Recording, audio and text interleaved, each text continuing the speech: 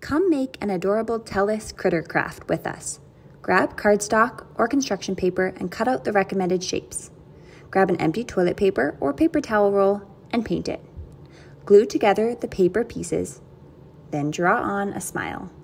And there you have it.